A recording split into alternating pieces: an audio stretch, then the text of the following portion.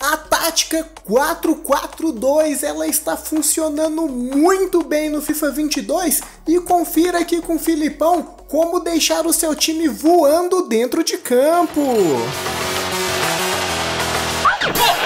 E aí galera, eu sou o Felipe Zolini e no vídeo de hoje eu vou passar para vocês a tática 442 para que o seu time fique voando dentro de campo.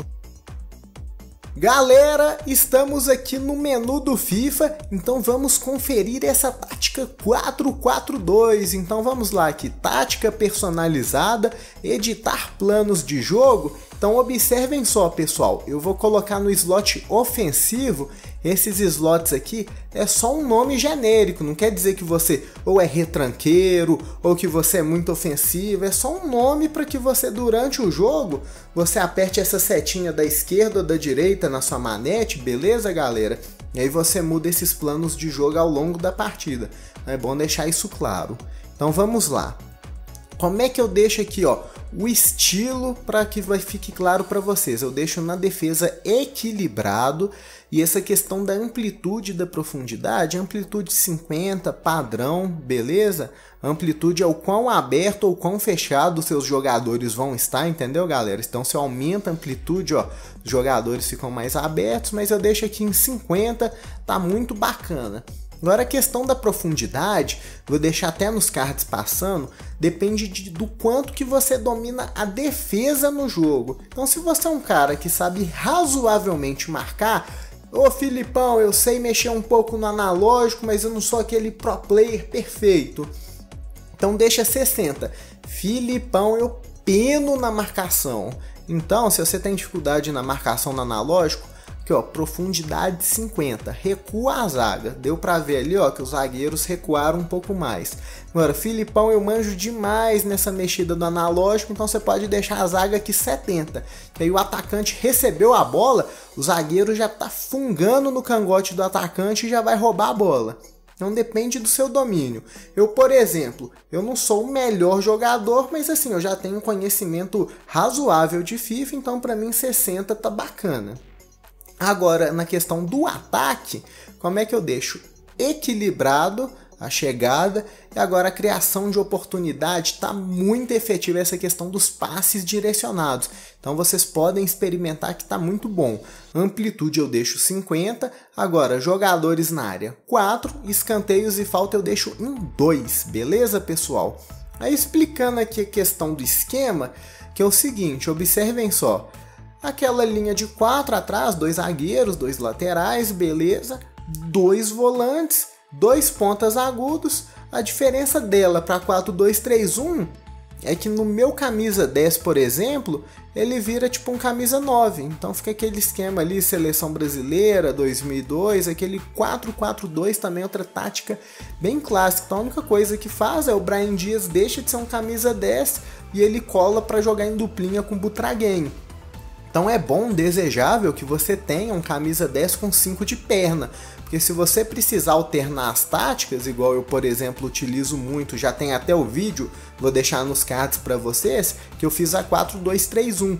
Então você pode alternar essa 4-2-3-1 com essa 4-4-2, por exemplo. Então são duas táticas que são muito boas. Então, primeiro eu sempre testo qual delas está funcionando melhor ali no início do jogo. Você pode começar tanto na 4-4-2 ou na 4-2-3-1. Então, às vezes, por conta da tática do seu, adversário, às vezes uma vai funcionar melhor do que a outra. Então, sugiro você ter essas duas táticas na manga.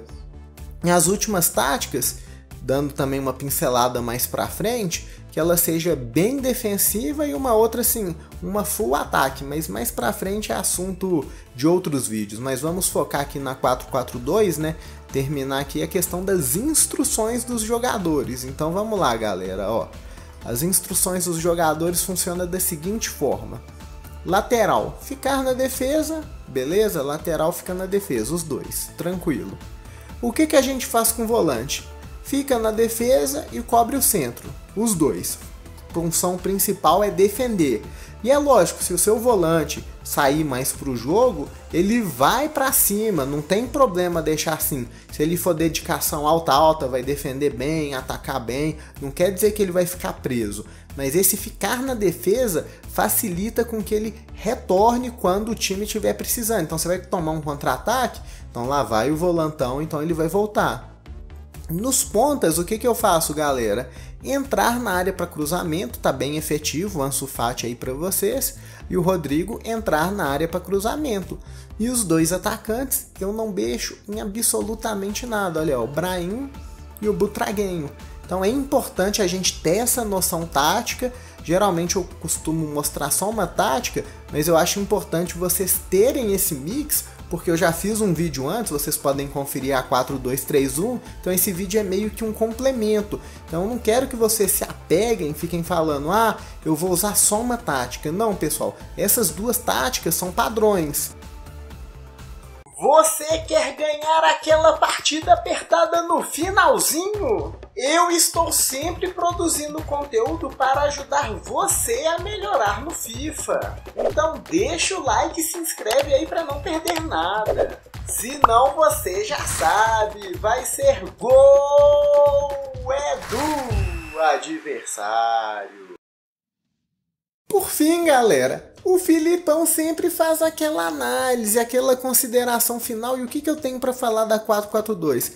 Uma tática bem tradicional, bem clássica do nosso futebol e ela funciona muito bem, meus amigos. Então, qual que é a dinâmica dessa tática? Você tem dois volantes que apoiam muito bem defensivamente, aqueles pontas bem agudos que driblam muito bem. E o segredo, gente, é que você tem dois pivôs que é o seu camisa 10, ele vira um camisa 9, assim, digamos, né? Então você tem dois caras que são atacantes, dois homens referências. E o segredo para fazer gol é ficar tabelando um com o outro. Por que, que é bom ter os dois com 5 de perna? Porque eles vão tocar com as duas pernas e eles vão finalizar com as duas muito bem, com muita qualidade. Então eu, por exemplo, com Brian Dias e com Butraguem, cara, os dois eles têm um passe assim primoroso, excelência no passe e a finalização então é um absurdo. Então eu indico pelo menos esses tipos de jogadores. Pode ser também, tem pessoas que dão certo com outros jogadores. Mas assim, o 5 de perna nesse FIFA 22 está sendo o diferencial. Então eu, eu indico ter 5 de perna. É lógico, o jogador vai ser um pouco mais caro e tal. Mas é o que o Filipão indica. Agora, se o orçamento tiver um pouco apertado, também dá para mandar bem com jogadores 4/4. Se você chegou até esse ponto do vídeo, eu tenho certeza que você gostou do conteúdo. Então, para que você tenha vantagens e deixe o canal Dominada de Crack ainda mais forte, conheça o nosso plano de membros. Então é isso, galera. Eu vou ficando por aqui e até o próximo vídeo. Valeu!